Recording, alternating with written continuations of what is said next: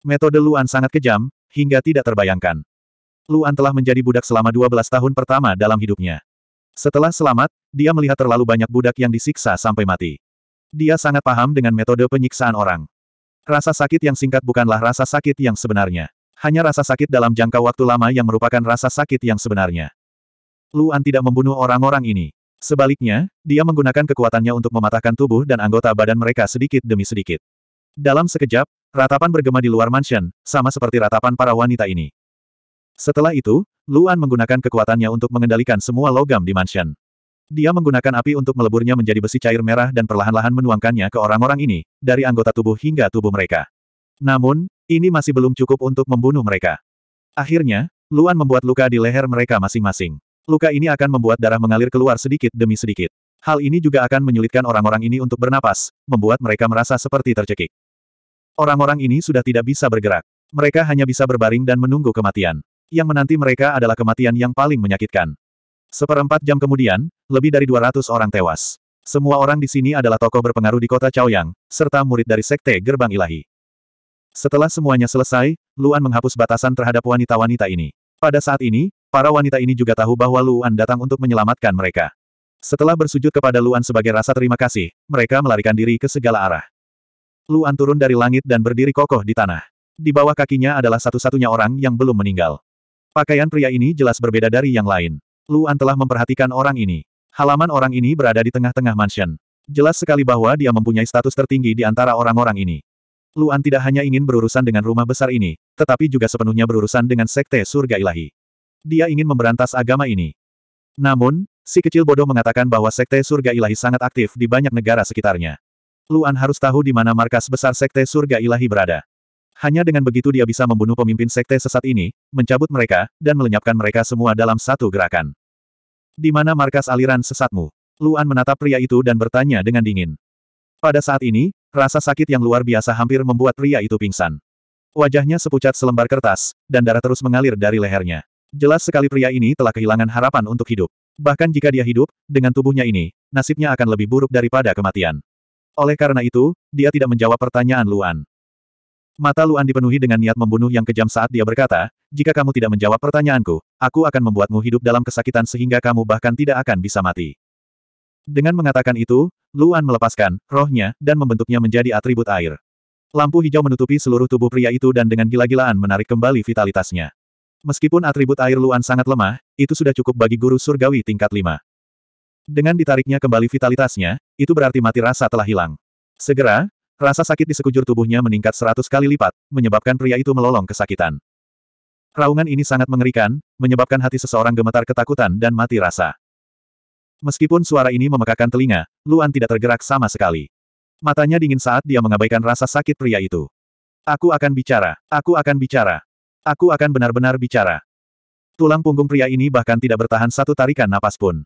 Namun, Luan baru berhenti setelah sepuluh napas. Saat ini, pria itu sudah menghembuskan nafas terakhirnya. Berbicara, Luan berkata dengan dingin. Saya tidak tahu di mana markas besar kultus Raja Ilahi. Dengan status saya, saya tidak memiliki kualifikasi untuk mengetahuinya. Pria itu terus bernapas saat bibirnya bergetar. Dia membuka matanya lebar-lebar dan meraung, saya hanya memiliki kualifikasi untuk pergi ke cabang kultus raja. Hanya pemimpin cabang yang memiliki kualifikasi untuk mengetahui di mana markas besarnya. Di mana cabangnya? Luan bertanya lagi.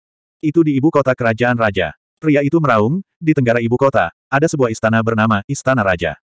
Di sanalah cabang kultus Raja Ilahi berada. Melihat pria itu mengaum, Luan tahu bahwa orang ini tidak berbohong. Dia berdiri dan mengangkat tangannya. Dalam sekejap, kepala pria itu terpisah dari tubuhnya dan dia mati di tempat. Cabang kultus Raja Ilahi sebenarnya terletak di ibu kota kerajaan raja. Agar aliran sesat seperti itu muncul di ibu kota, kerajaan raja memang sudah busuk sampai ke intinya. Bahkan di kota Chaoming ini, terdapat lebih dari 300 wanita. Lalu berapa banyak perempuan di seluruh negeri? Dengan banyaknya wanita yang berada dalam jurang penderitaan, apakah raja benar-benar tidak mengetahuinya? Ataukah dia menutup mata dan sengaja memanjakan mereka? Namun, apa pun alasannya, Luan akan pergi ke ibu kota kerajaan raja dan membasmi kultus raja ilahi. Tanda pisah tanda pisah tanda pisah. Tanda pisah tanda pisah tanda pisah. Dua hari kemudian, Kerajaan Raja. Kerajaan Raja adalah negara tingkat menengah. Ibu kotanya tentu saja besar dan ramai. Bahkan guru surgawi tingkat enam memerlukan waktu untuk terbang melintasi ibu kota. Saat ini, sesosok tubuh muncul di jalan lebar ibu kota. Itu adalah Luan. Dengan Luan bergegas dengan kecepatan penuh, dia tiba di ibu kota hanya dalam dua hari. Setelah memasuki ibu kota, dia tidak bergegas ke istana Raja Ilahi. Sebaliknya, dia menanyakan informasi. Alasan mengapa Luan sangat berhati-hati bukan karena dia takut akan ada ahli di cabang yang tidak dapat dia tangani. Sebaliknya, dia takut jika dia bertindak gegabah seperti yang dia lakukan di kota Chaoming, informasinya akan bocor. Jika guru surgawi level 7 seperti dia ditemukan, kemungkinan besar berita tersebut akan dikirim ke markas besar kultus Raja Ilahi. Terlebih lagi, Master Sekte mungkin melarikan diri karena ini. Luan ingin menangkap mereka semua sekaligus. Dia pasti tidak bisa membiarkan Master Sekte itu pergi. Kalau tidak, masalah tidak akan ada habisnya. Luan perlu mengetahui kekuatan kultus Raja Ilahi. Misalnya, kekuatan dari Master Sekte cabang ini dan Master Sekte sejati. Jika kekuatannya tidak memungkinkan dia untuk secara diam-diam mengendalikan Master Kultus, maka dia mungkin harus melakukan sesuatu yang tidak dia sukai dan menerima hal terbaik berikutnya. Dia akan memikirkan cara untuk menyusup ke cabang dan mendapatkan informasi dari Master Sekte. Luan tentu saja tidak dapat memperoleh informasi seperti ini dari pelayan. Terlebih lagi, kalaupun dia mendapatkannya, sangat sulit untuk menjamin keakuratan informasinya. Oleh karena itu, Luan datang ke sekitar kultus Raja Ilahi dan bersiap untuk bertanya kepada seseorang dari kultus Raja Ilahi. Istana Raja Ilahi memang sangat besar dan mewah. Tiga kata, Istana Raja Ilahi, tertulis di pintu tanpa tabu apa pun. Jelas sekali tidak perlu menyembunyikannya. Siapa pun yang lewat akan tahu bahwa ini adalah wilayah kultus Raja Ilahi. Istana sebesar itu berada di luar imajinasi Luan. Dengan kata lain, mustahil bagi raja untuk tidak mengetahui istana sebesar itu di ibu kota. Berkolusi satu sama lain adalah kemungkinan terbesar. Saat Luan sedang mencari sasarannya, dua gerbong tiba-tiba muncul dari pinggir jalan dan bergegas mendekat. Kedua gerbong ini dilindungi oleh empat orang yang menunggang kuda. Mereka mengamuk sepanjang jalan, tidak mempedulikan siapa pun. Di tengah perjalanan, mereka menimbulkan kekacauan dan banyak pejalan kaki yang terluka. Namun, kedua gerbong tersebut tidak berniat melambat. Suara mendesing. Terdengar suara dan kedua gerbong itu akhirnya berhenti di luar gerbang istana Raja Ilahi. Para penjaga di gerbang segera turun untuk menyambut mereka. Orang di depan keempat kuda itu berteriak kepada penjaga, kunci mereka dan didik mereka dengan baik. Iya. Para penjaga buru-buru mengangguk. Mereka melihat bahwa orang yang ditarik keluar dari kedua gerbong tersebut adalah perempuan. Dari pakaian mereka, mereka jelas bukan budak. Mereka bahkan bisa menjadi istri dan anak perempuan dari keluarga terpelajar. Para perempuan ini berteriak dan melawan, meminta bantuan kepada para pejalan kaki.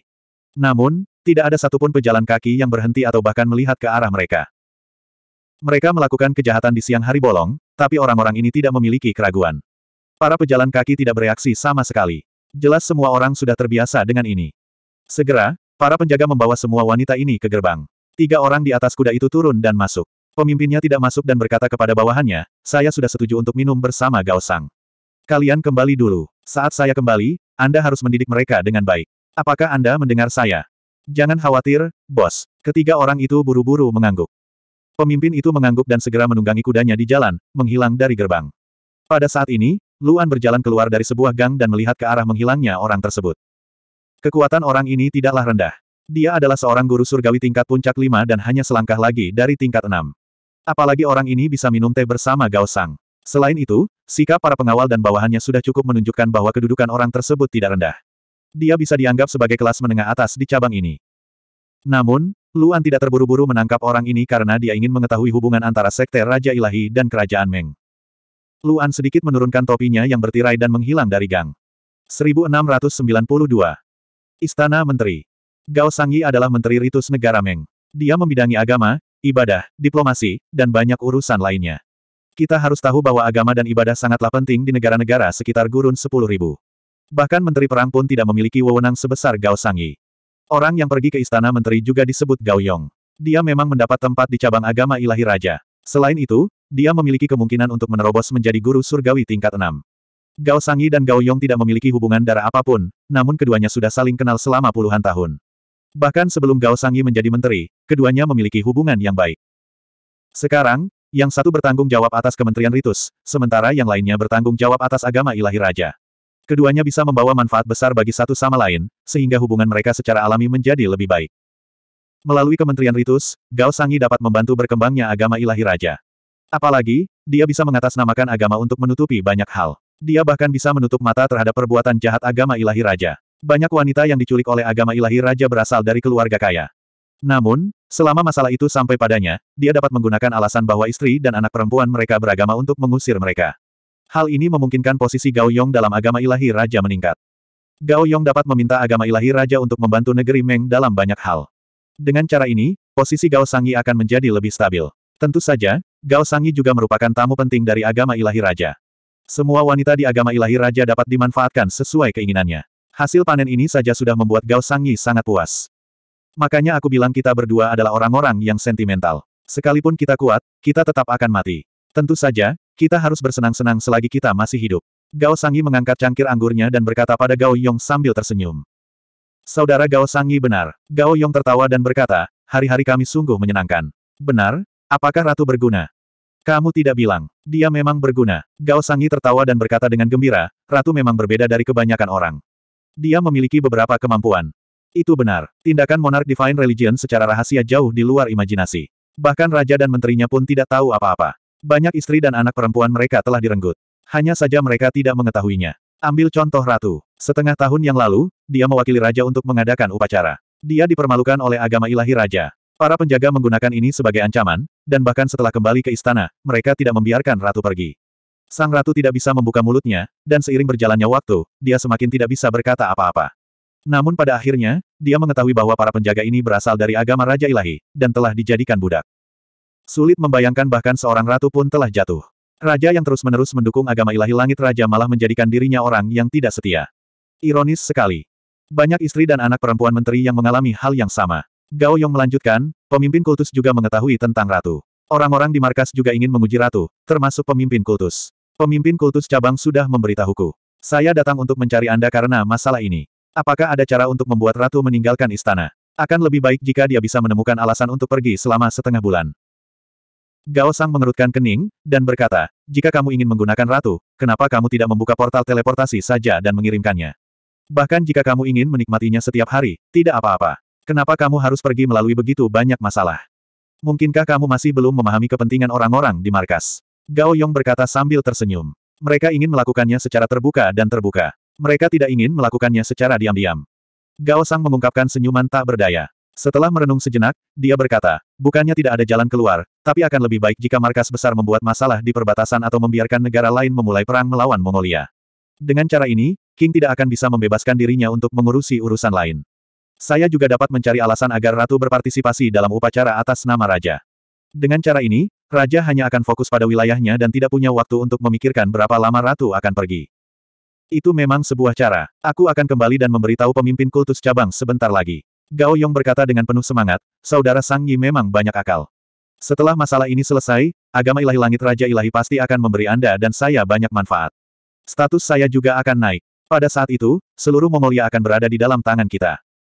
Gao Sang tertawa terbahak-bahak dan berkata dengan lantang, bagus sekali. Bersulang. Bersulang. Gao Yong berkata dengan keras dan meminum anggur di cangkirnya. Keduanya tertawa dan berdiskusi dengan lantang di dalam ruangan. Para pelayan di sekitarnya semuanya telah dibersihkan dan berpikir bahwa tidak ada yang bisa mendengar percakapan mereka. Namun, tidak ada yang menyadari kehadiran Luan. Luan berdiri di luar pintu dan mendengar percakapan keduanya dengan jelas. Setelah mendengar percakapan keduanya, Luan untuk sementara menyerah pada gagasan untuk menginterogasi Gao Yong. Sang Ratu sudah berada di bawah kendali agama ilahi langit Raja Ilahi. Apalagi orang-orang ini berencana membawa Ratu keluar istana menuju markas. Ini adalah kesempatan bagi Luan. Dia bisa mengikuti kelompok itu untuk menemukan markas agama ilahi langit Raja Ilahi dan menangkap mereka semua dalam satu gerakan. Sebelumnya, untuk menghindari kewaspadaan musuh, dua orang di ruangan itu tidak boleh disentuh. Adapun soal mencari tahu kekuatan pemimpin kultus cabang dan pemimpin kultus cabang, dia hanya bisa mengesampingkannya untuk sementara waktu. Dia masih memiliki hal lain yang harus dilakukan. Dalam sekejap mata, sosok Luan menghilang dari sang Sumanor. Tanda pisah tanda pisah tanda pisah. Tanda pisah tanda pisah. Kerajaan Mongolia, Istana Kerajaan. Istana Kerajaan tidak diragukan lagi merupakan bangunan terbesar di seluruh negeri. Itu hikmat dan bermartabat, dengan lapisan penjaga yang menjaganya, melindungi keselamatan raja, istri, dan anak-anaknya. Namun siapa sangka istana yang tampaknya tak tertembus itu telah sepenuhnya jatuh ke tangan harem kaisar. Saat ini, di bawah langit biru cerah, pintu istana ratu tertutup rapat. Semua pelayan di luar istana telah dibersihkan. Dari waktu ke waktu, tangisan kesakitan terdengar dari istana. Di dalam ruangan, seorang pelayan laki-laki sedang melakukan pelecehan tidak manusiawi terhadap Ratu yang Agung. Benar sekali, pelayan ini berasal dari agama ilahi langit Raja Ilahi. Mereka telah menggantikan pelayan asli di sisi Ratu. Dengan cara ini, mereka dapat bertindak melawan Ratu kapan saja. Agama ilahi langit Raja Ilahi memiliki banyak metode untuk meningkatkan energi seseorang, serta banyak metode untuk melecehkan orang. Ratu kesakitan setiap hari. Untungnya, Sang Ratu sering kali harus muncul di hadapan orang lain, sehingga orang-orang dari agama ilahi langit Raja Ilahi tidak berani bertindak berlebihan dan melukai Sang Ratu. Namun, ini tidak berarti hari-hari Ratu berjalan dengan mudah. Sang Ratu bukanlah orang yang suka memilih-milih, tapi dia telah tenggelam dalam rawa. Rasa sakit ini saja sudah cukup untuk membuatnya berharap dia mati. Alasan dia masih hidup bukan karena dia takut mati, tapi karena dia ingin menyelamatkan muka raja.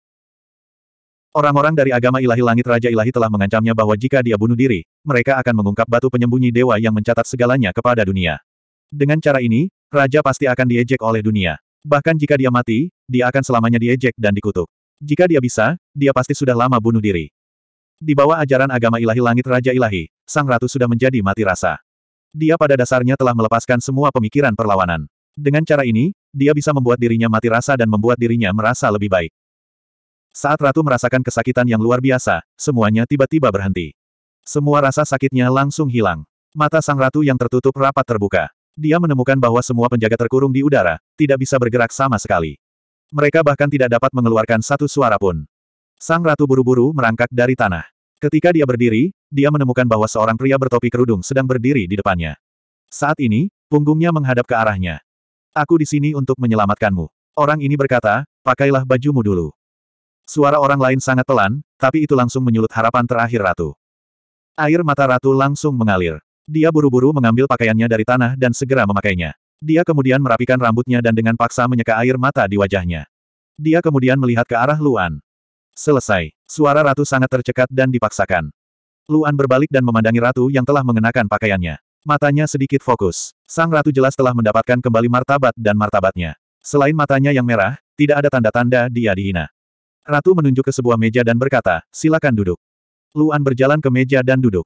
Ratu juga duduk. Sang ratu menarik napas dalam-dalam dan berkata dengan suara gemetar, baru saja. Kamu melihat semuanya. Apakah kamu benar-benar punya cara untuk menyelamatkanku?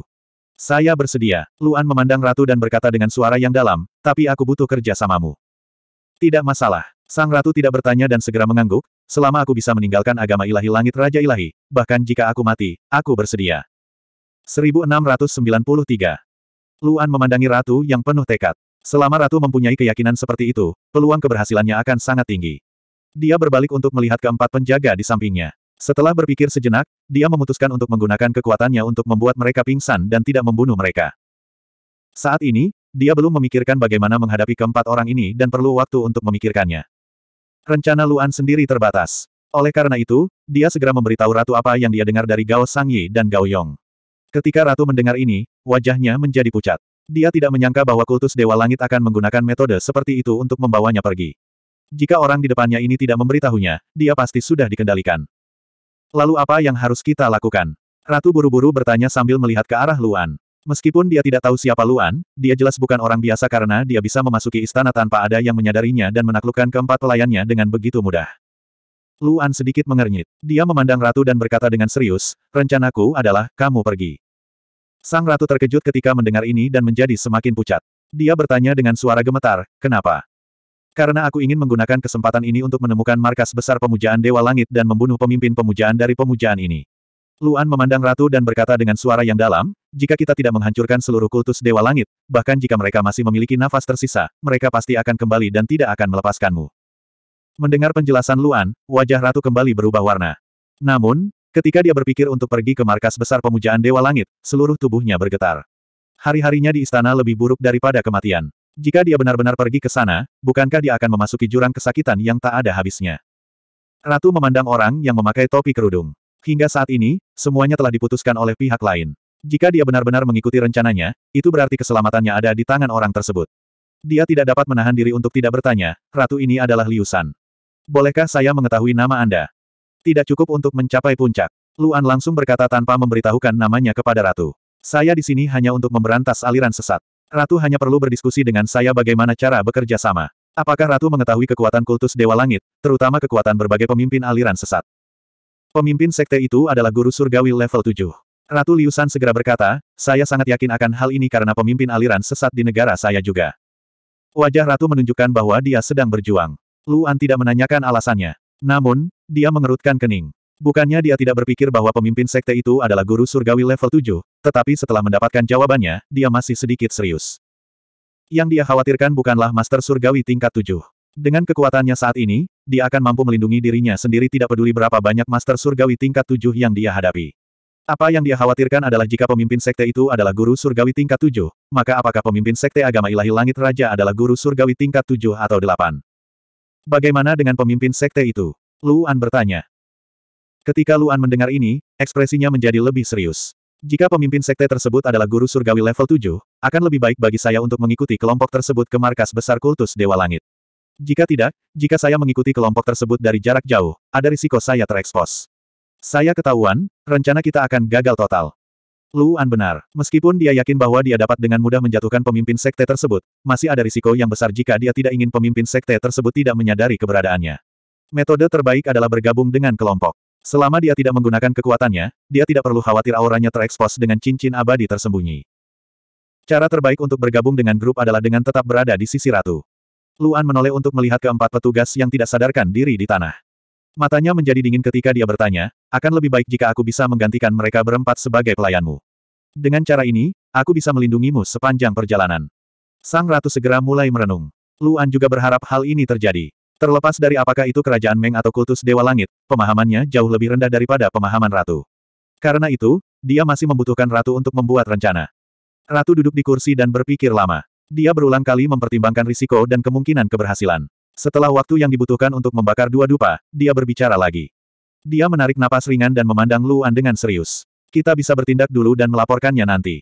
Apa maksudmu? Luan bertanya. Karena mereka membawaku pergi atas nama persembahan atau diplomasi, mereka pasti ingin mempermalukanku secara terbuka. Mereka pasti tidak akan melakukannya secara diam-diam. Ratu berkata dengan serius, saya sangat jelas tentang kekejaman orang-orang ini. Karena mereka melakukan ini, itu pasti atas perintah pemimpin kultus Dewa Langit. Meskipun aku dikendalikan oleh mereka, aku tetaplah ratu di permukaan. Mereka masih harus mendengarkan perintah saya. Terlebih lagi, statusku sangat terhormat. Mereka menghabiskan begitu banyak usaha dan bahkan memulai perang hanya untuk mengirim saya ke pemimpin sekte. Mereka tidak akan berani mengecewakan pemimpin sekte dan tidak akan berani berpura-pura ramah. Artinya, sebelum meninggalkan istana, aku akan aman.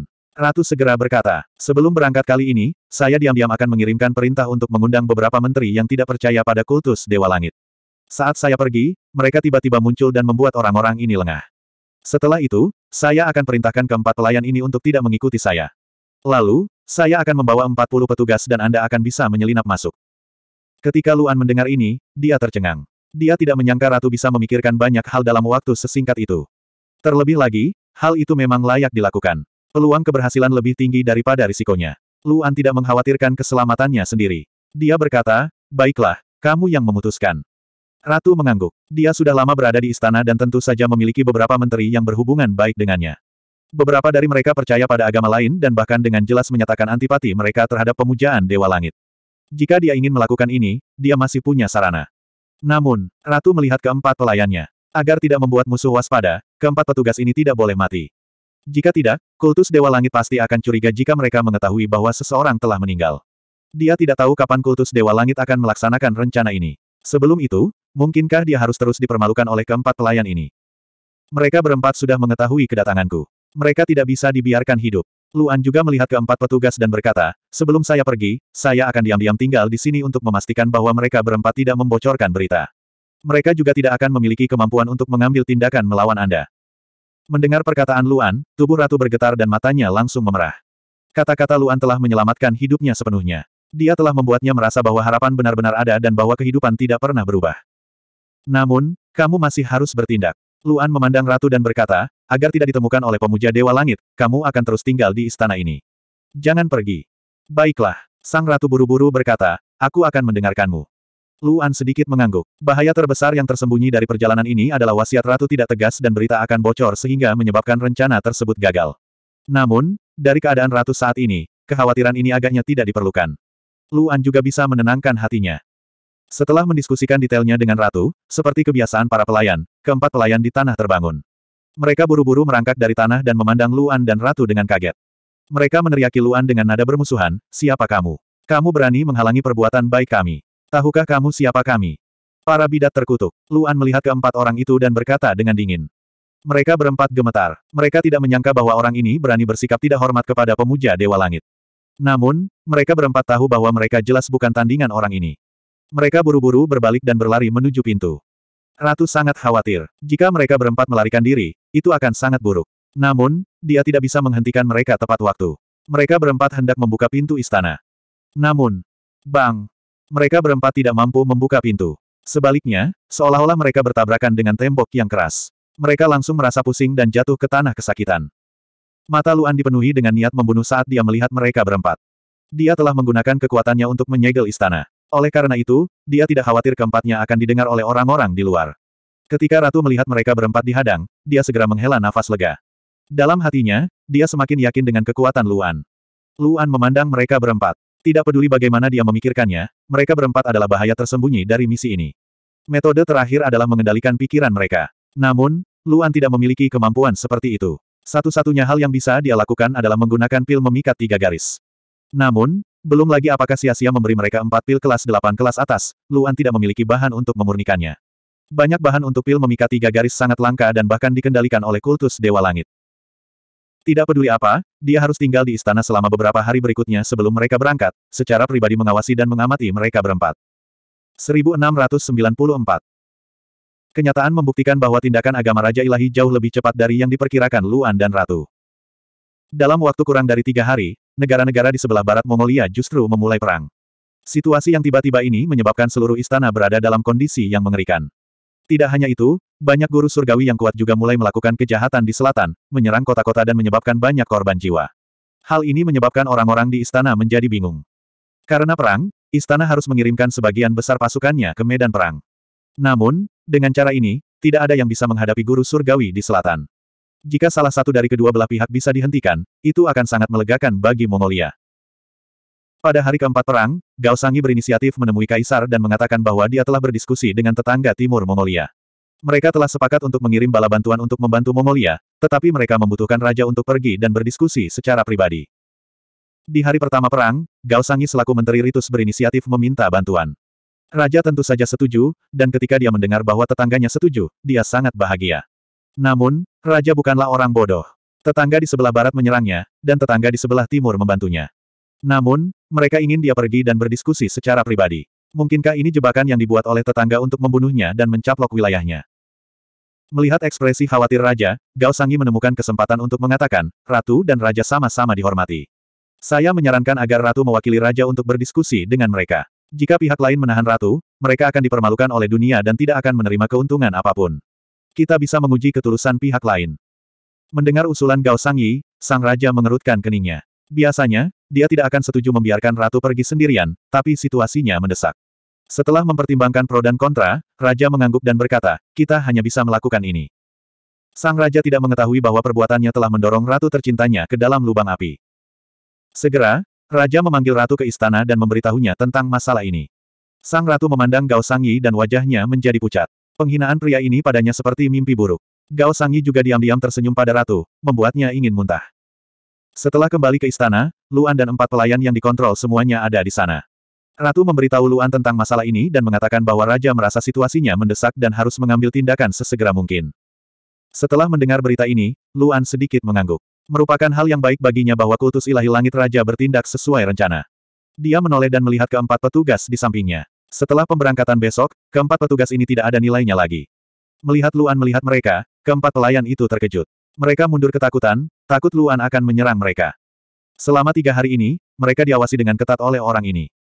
Mereka tidak punya kesempatan untuk melarikan diri atau menyebarkan berita apa pun. Yang lebih buruk adalah anggota lain dari kultus Raja Ilahi, yang seharusnya datang setiap beberapa hari untuk menikmati ratu, tidak datang. Mereka berempat tidak tahu bahwa orang-orang dari kultus Raja Ilahi sedang sangat sibuk saat ini. Mereka ada di sini untuk memastikan bahwa operasi ini mudah dilakukan.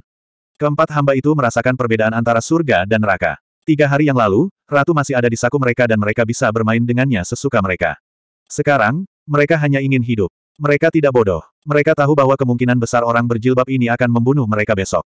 Mereka berempat buru-buru berlutut dan bersujud sambil memohon ampun. Kami kerasukan dan percaya pada kultus Raja Ilahi. Pahlawan hebat, tolong selamatkan hidup kami dan beri kami kesempatan untuk membuka lembaran baru. Kami pasti tidak akan melakukan hal seperti itu lagi. Mereka berempat menangis tak henti-hentinya. Ekspresi Luan dingin dan dia bahkan tidak melihat ke arah mereka. Namun, Ratu sangat marah hingga seluruh tubuhnya gemetar. Kedatangan Luan membuatnya merasa lega. Itu juga membuatnya merasa bahwa dia adalah ratu sekali lagi. Selama tiga hari ini, setiap kali dia melihat mereka berempat, dia akan sangat marah hingga seluruh tubuhnya gemetar. Setahun yang lalu, dia tidak pernah menyangka akan dipermalukan oleh keempat pelayan ini begitu lama. Memaafkan. Dia berharap bisa memotong keempatnya menjadi ribuan bagian. Dia ingin menggunakan metode paling kejam untuk menyiksa mereka seumur hidup. Jika kamu mengucapkan satu kata lagi, aku akan memastikan kamu tidak akan pernah bisa berbicara lagi. Luan berkata dengan dingin. Mereka berempat begitu ketakutan hingga tubuh mereka gemetar. Mereka buru-buru menutup mulut dan tidak berani mengatakan apa pun lagi. Mereka hanya berharap orang ini akan melepaskan mereka besok. Setelah mereka berempat tenang, Ratu memandang Luan yang sedang duduk bersila dan berkultivasi. Selama tiga hari ini, orang tersebut tidak pernah melepas topi cadarnya. Dia juga tidak sempat melihat wajah di balik topi berjilbab itu. Namun, dari suara pihak lain, dia terlihat sangat muda. Namun, guru surgawi tingkat enam dapat menggunakan energi langit dan bumi untuk mengubah penampilan dan tubuh mereka.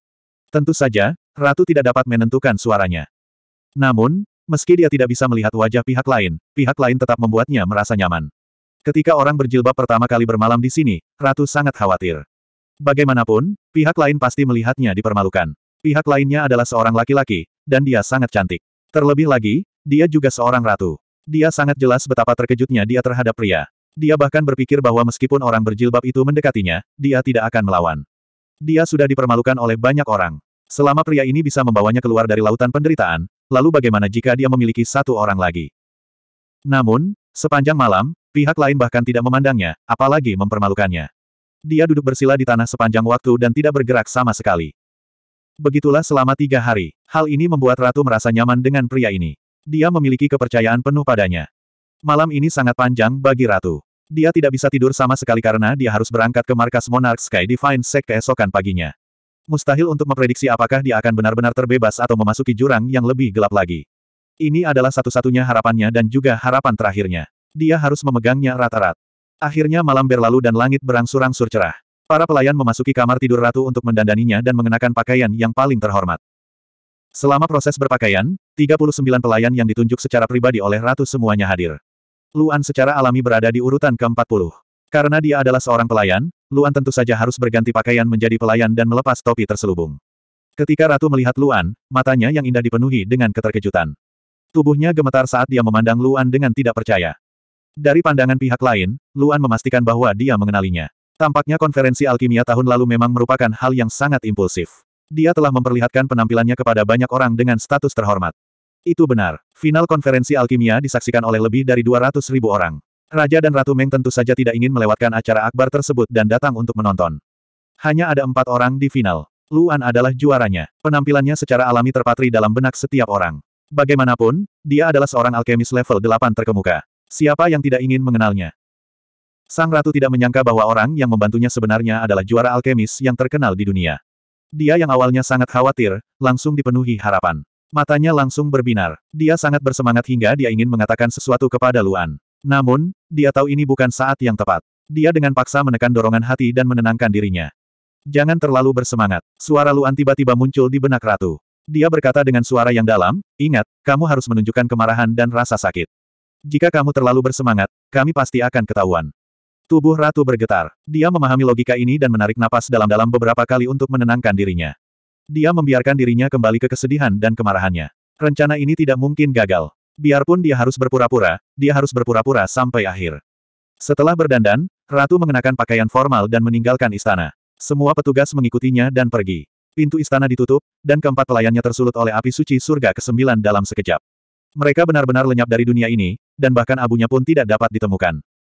Kematian yang begitu cepat sudah menjadi berkah besar bagi mereka berempat. Ratu dan empat puluh pelayan datang ke aula utama dari harem. Ratu mewakili raja dalam perjalanan ini. Dia mewakili otoritas tertinggi. Sebagai Menteri Ritus, Gao Sanyi tentu saja harus menemaninya dalam perjalanan ini. Gao Yong pun bersembunyi di sampingnya dan berpura-pura menjadi bawahannya. Saat mereka melihat Ratu tampil dengan pakaian formalnya yang mulia, mereka berdua menjadi semakin bersemangat.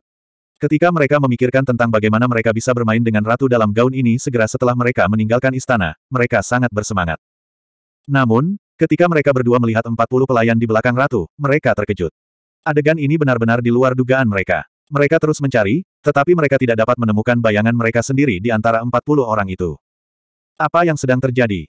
Mereka berdua menyaksikan ratu berjalan melewati para menteri. Sang ratu bahkan tidak melihat ke arah mereka. Hal ini membuat mereka semakin marah. Nanti ketika mereka meninggalkan istana, mereka pasti akan memberi pelajaran pada ratu.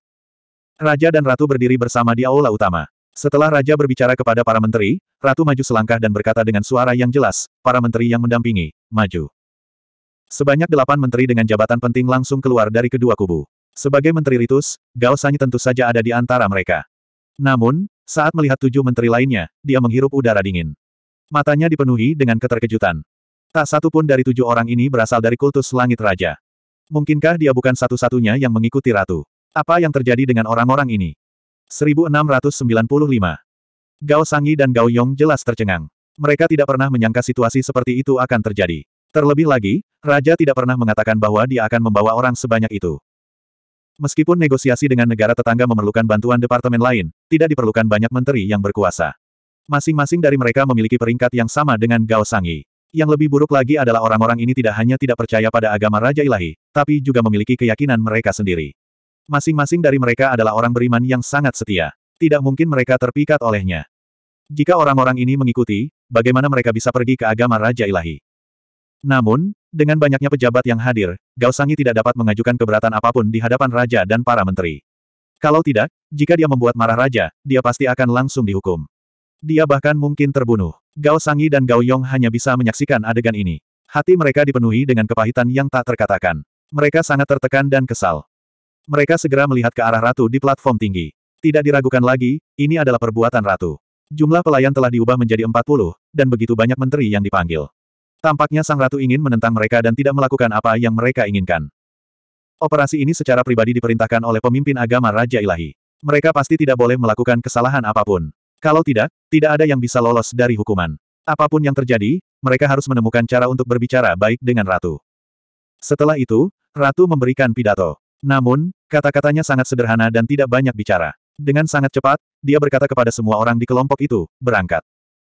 Setelah ratu memasuki gerbong, para menteri lainnya memasuki gerbong lainnya. Para pengawal yang menemani menaiki kudanya, dan para pelayan meninggalkan istana kerajaan dengan megah. Luan adalah seorang pelayan. Tentu saja, dia mengikuti kereta di luar seperti yang lainnya. Dia terlihat sangat biasa. Bahkan tanpa topi cadar, tidak ada yang menyadari keberadaannya. Gao Sangi dan Gao Yong berada di gerbong yang sama. Ekspresi mereka jelek. Gao Yong dengan marah berkata, ratu ini sebenarnya berani menipu kita. Dia benar-benar tidak tahu apa yang baik untuknya. Lihat apakah aku tidak menemukan kesempatan untuk menyiksanya dengan benar. Kita tidak bisa impulsif dalam hal ini. Gao Sangi melihat penampilan Gao Yong yang marah dan langsung berkata, meskipun ratu jarang ikut serta dalam politik istana, dia pasti orang yang pintar. Karena dia berani melakukan ini, dia pasti sudah memikirkan jalan keluarnya. Dia pasti sudah siap dengan apa yang akan kita lakukan. Apalagi dia punya banyak pembantu dan tujuh menteri itu. Kami tidak bisa berbuat apa-apa. Lalu apa yang harus kita lakukan? Gao Yong mengertakkan gigi dan berkata, haruskah kita membiarkan dia pamer dan merusak rencana kita? Jika dia tidak bisa dikirim ke markas, kita semua akan mati. Tidak, kami pasti akan mengirimnya ke markas. Gao Sangi mengerutkan kening dan berkata dengan suara yang dalam, jika dia benar-benar ingin melepaskan diri dari kendali kita dan melepaskan semua kepura-puraan ramah, dia pasti sudah melakukannya sejak lama. Dia tidak perlu meninggalkan istana bersama kita. Karena dia berani meninggalkan istana bersama kita, itu berarti dia tidak berani melanggar perintah kita. Apa maksudmu? Gao Yong benar-benar bingung. Dia bertanya, dia tidak berani berselisih dengan kita, tapi dia masih ingin melawan kita. Apa yang dia inginkan? Saya juga tidak tahu. Gao Sang menggelengkan kepalanya dan berkata dengan suara yang dalam, kemungkinan terbesar yang terpikir olehku sekarang adalah dia ingin bernegosiasi dengan kita dan menggunakan kesempatan ini untuk menunjukkan sikapnya.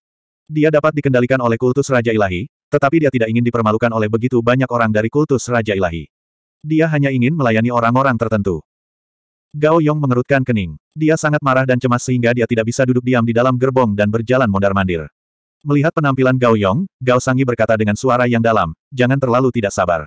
Jika tidak, jika masalah kita diketahui oleh menteri lain, itu akan sangat buruk. Pada saat itu, meski kami berselisih dengan raja, kami berdua juga akan mati. Kultus Raja Ilahi juga akan musnah dalam satu gerakan. Jalan ini sangat panjang. Kita perlu istirahat. Setelah kita istirahat, saya bisa langsung pergi dan berbicara dengannya. Mendengar perkataan Gao Sangyi, Gao Yong hanya bisa menarik nafas dalam-dalam dan duduk dengan gusar.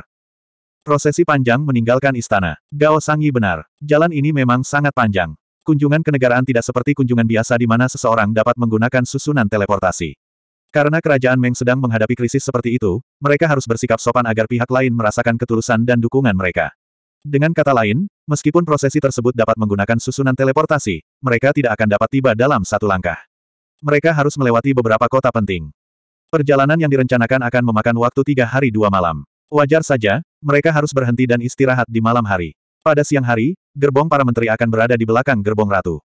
Gao Sangi tidak punya alasan untuk mendekati ratu dan hanya bisa menunggu malam tiba. Sore harinya, prosesi tiba di kota yang sangat penting di kerajaan Meng. Setelah ratu bertemu dengan penguasa kota, dia memasuki istana dan beristirahat. Para menteri lainnya memiliki halaman sendiri di istana, dan ratu secara alami tinggal di tengah istana. Menteri lainnya tidak berani mengganggunya, dan ini adalah kesempatan Gao Sangi. Halaman tempat tinggal ratu sangat mewah. Ada pelayan yang berdiri di taman, dan ada juga beberapa pelayan yang menyibukkan diri atau menunggu perintah. Saat langit menjadi gelap, dua sosok muncul di luar taman. Mereka tidak lain adalah Gao Sangyi dan Gao Yong. Ketika mereka berdua tiba, para pelayan di pintu secara alami menghentikan mereka. Di depan orang luar, mereka berdua harus bertindak. Gao Sangyi berkata kepada pelayannya, tolong beritahu ratu bahwa Menteri Ritus, Gao Sangyi, ingin bertemu dengannya. Silakan tunggu beberapa saat. Pelayan itu masuk ke dalam, tapi dia tidak keluar untuk beberapa saat. Gao Sangi dan Gao Yong menunggu lama di luar. Ketika kesabaran mereka hampir habis, pelayan itu keluar dari istana dan kembali ke mereka berdua. Silakan ikuti saya. Ketika Gao Sangi dan Gao Yong mendengar ini, mereka menarik napas dalam-dalam dan sedikit menenangkan diri. Namun, keduanya masih sangat marah. Sang ratu berani memperlakukan mereka dengan sikap seperti itu. Tampaknya mereka tidak memperlakukannya dengan cukup baik. Dengan amarah di hati, mereka berdua mengikuti pelayan itu keluar istana lalu masuk ke istana. Pelayan itu dengan hormat berkata kepada Ratu, Yang mulia, mereka telah tiba. Di dalam kamar, Ratu sudah mengganti pakaiannya dan mengenakan pakaian biasa. Hal ini membuat Gao Sangyi dan Gao Yong mengerutkan kening. Mereka selalu ingin Liusan mengenakan gaun Ratu agar mereka dapat menikmatinya. Lagi pula, gaun ini bukanlah sesuatu yang bisa dikenakan sesuka hati. Bahkan Ratu pun tidak bisa memakainya dengan santai. Sekarang setelah Ratu melepas gaunnya, mereka sangat marah. Namun, masih ada sepuluh pelayan di ruangan itu. Gao Sangyi menahan amarah di dalam hatinya dan berkata kepada Ratu, Yang mulia, saya punya sesuatu yang penting untuk dilaporkan. Bolehkah saya meminta para pelayan pergi dulu? Sesuatu yang penting. Sang Ratu memandang mereka berdua dengan dingin dan berkata dengan acuh tak acuh, jika ada yang ingin kau katakan, katakan saja. Anda, Gao Yong hampir mengamuk. Pelatihan beberapa bulan terakhir telah membuatnya kehilangan rasa hormat dan ketakutan terhadap Ratu. Sebaliknya, dia mengira Ratu adalah budaknya. Ketika dia melihat ratu berani berbicara kepadanya seperti ini, dia sangat marah hingga seluruh tubuhnya gemetar. Jika bukan karena rasionalitas terakhir yang tersisa, dia akan memarahinya. Wajah Gao Sangyi juga sangat pucat. Dia berkata kepada ratu, Yang mulia, ini masalah serius. Jika orang luar mendengarnya, saya khawatir itu tidak akan baik. Kata-kata Gao Sangyi sangat dingin dan ancamannya terlihat jelas. Bahkan para pelayan di sekitarnya memandangnya dengan heran. Mereka tidak menyangka dia akan berbicara kepada ratu seperti ini. Wajah ratu menjadi semakin dingin. Dia segera berkata, perhatikan statusmu. Kalau tidak, meskipun kamu adalah Menteri Ritus, aku bisa segera menghukummu. Mendengar perkataan ratu, Gao Sangyi terkejut. Dia hampir memukulnya. Namun, dia menahan diri. Setelah bertahun-tahun, dia jelas bukan orang yang baik untuk bisa mencapai posisi ini. Setelah menarik napas dalam-dalam, dia menatap ratu dengan dingin. Jelas sekali bahwa sikap ratu telah banyak berubah, tapi dia masih tidak mengerti alasannya. Saya terlalu tidak sabar. Gao Sangyi mengubah sikapnya yang kuat dan membungkuk hormat kepada ratu. Namun, ini terlalu penting. Saya khawatir dinding itu memiliki telinga. Mohon pengertiannya, Yang Mulia. Ratu memandang Gao Sangyi yang telah menurunkan postur tubuhnya. Meskipun matanya yang dingin tidak melembut, dia memikirkannya dan melambaikan tangannya. Dia berkata kepada para pelayan di sekitarnya, kalian semua, keluarlah dan tunggu. Iya. Para pelayan membungkuk dan pergi. Tak lama kemudian, hanya Ratu, Gao Sangyi, dan Gao Yong yang tersisa di istana. Namun, yang membuat Gao Sangyi dan Gao Yong mengerutkan kening adalah pelayan terakhir yang pergi tidak menutup pintu. Masih ada yang harus kulakukan. Sang Ratu memandang mereka berdua dan berkata dengan dingin, jika ada yang ingin kau katakan, katakan secepatnya. Meski pintunya tidak tertutup, mereka berdua akhirnya tidak bisa mengendalikan emosinya terhadap Ratu. Gao Sangyi dan Gao Yong segera berdiri dan menatap Ratu. Sepertinya kamu sudah melupakan statusmu. Gao Sangyi menggeram pada Ratu. Apakah kamu ingin diberi pelajaran oleh kami berdua? 1696 Perkataan Gao Sangyi seketika menyebabkan suasana di dalam ruangan menjadi sangat ekstrim. Wajah ratu menjadi dingin. Jika dia bisa, dia akan memotong dua orang di depannya menjadi beberapa bagian. Namun, dia tahu sekarang bukanlah waktu yang tepat. Karena dia telah melihat harapan, dia bisa menanggung apa pun. Semuanya harus berjalan sesuai rencana. Saya memperingatkan Anda, saya mewakili Mongolia untuk bernegosiasi dengan negara asing. Masalah ini menyangkut keselamatan negara. Saya tidak akan membiarkan Anda main-main. Ratu berkata dengan dingin. Kalau tidak, jika sesuatu terjadi di Mongolia, aku akan membuatmu berharap kamu mati. Perkataan Ratu membuat Gao Sangyi dan Gao Yong tercengang. Gao Yong segera menjadi semakin marah. Namun, Gao Sangyi tiba-tiba memahami sesuatu. Ternyata Ratu yakin Mongolia sedang terjerumus ke dalam krisis besar dan diambang kepunahan. Setelah Mongolia hancur, ketergantungan terbesar mereka pada Ratu akan hilang. Gao Sang tertawa dingin dan berkata, jangan khawatir, selama kamu patuh mendengarkanku, aku jamin tidak akan terjadi apa-apa di Mongolia. Apa maksudmu? Mata Ratu menjadi dingin. Dia sudah tahu bahwa dia sedang berakting. Dia menegur, apakah itu karena kamu? Kalau tidak, menurutmu mengapa perang tiba-tiba pecah? Mengapa negara tetangga tiba-tiba membantu Anda? Mengapa mereka mengirimmu keluar istana? Gao Sangyi mencibir dan berkata, semua ini karena pemimpin sekte ingin bermain denganmu. Itu saja. Apa katamu? Ratu dengan marah menegur, hanya karena ini, negara akan jatuh ke dalam perang dan tentaranya akan mati. Terus, Gao Sangyi bertanya, jika Anda tidak ingin Mongolia dihancurkan, dengarkan kami dengan patuh. Kenakan pakaian ratu Anda dan layani kami seperti sebelumnya. Jika tidak, kami akan menghancurkan Mongolia sepenuhnya. Setelah mengatakan itu, Gao Sangyi dan Gao Yong berjalan menuju ratu. Jelas sekali mereka ingin menyerang ratu. Mereka bahkan tidak peduli pintu di luar masih terbuka. Kenapa aku harus percaya padamu? Sang ratu segera mundur dan berkata dengan dingin kepada mereka berdua, bagaimana jika ini semua hanya omong kosong? Setelah mengatakan itu, ratu mengangkat tangannya dan menepis tangan Gao Sangyi. Kekuatan ratu juga merupakan guru surgawi tingkat lima. Tamparannya justru mendorong Gao Sangyi mundur dua langkah. Gao Sangyi tidak menyangka ratu akan berani menyerangnya. Ia segera berkata kepada ratu dengan sengit, apa yang kamu inginkan? Jangan uji kesabaran saya. Jangan berani-berani menantang intisariku. Sang ratu berkata dengan dingin, karena kamu bilang kamu akan membawaku menemui pemimpin sekte, aku tidak akan membiarkanmu menyentuhku sebelum aku melihatnya. Kalau tidak, aku akan meminta penjaga menangkapmu dan membunuhmu saat itu juga. Anda, Gao Sangi dan Gao Yong memelototi ratu, tapi mereka tidak berani mengucapkan sepatah kata pun. Ada beberapa master surgawi level 6 di antara para penjaga, jadi mereka pasti bisa membunuh mereka berdua. Baiklah, mari kita lihat berapa lama kamu bisa menjadi sombong. Gao Yong menunjuk ke arah ratu dan berkata dengan sengit, saat aku melihat pemimpin sekte dan kembali dari markas, aku akan menunjukkan padamu apa artinya kesakitan hingga kamu berharap mati. Setelah mereka selesai berbicara, keduanya pergi dengan marah dan menghilang dari halaman. Luan masuk ke kamar. Tentu saja, dia mendengar percakapan itu dengan jelas. Dia melihat ratu sepertinya sudah pingsan. Wajahnya menjadi pucat saat dia jatuh ke kursi.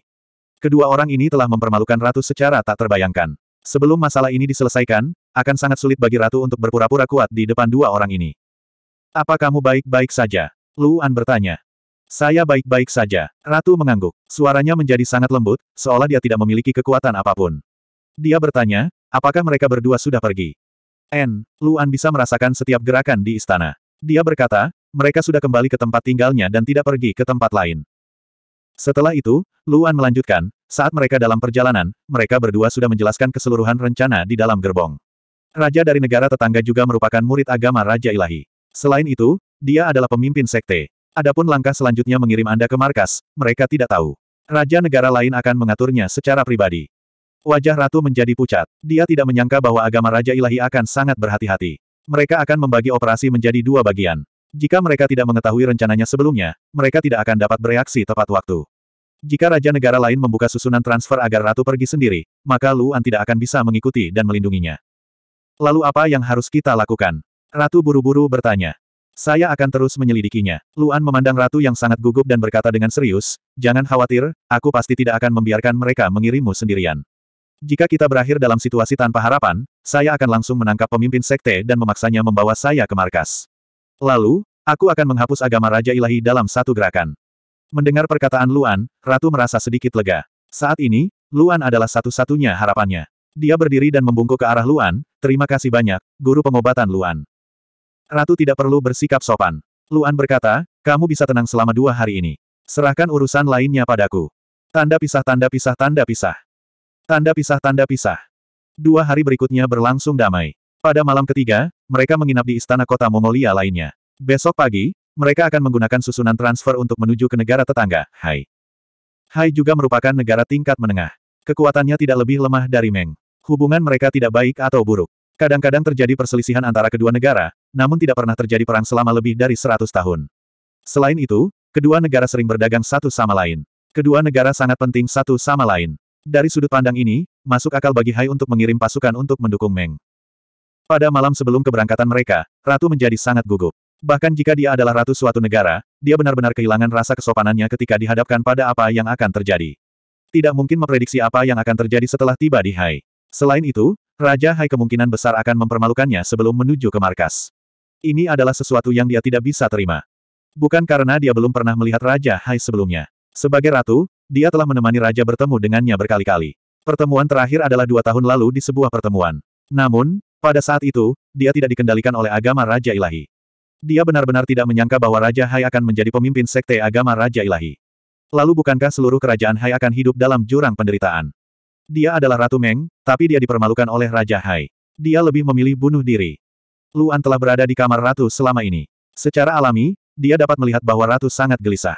Setelah sekian lama, Luan akhirnya berbicara. Kamu tidak perlu melakukan apa pun dengan Raja Hai. Sebelum kamu pergi ke markas, kamu adalah Ratu. Selama sikapmu cukup kuat, tidak peduli apa kata pihak lain, jangan takut.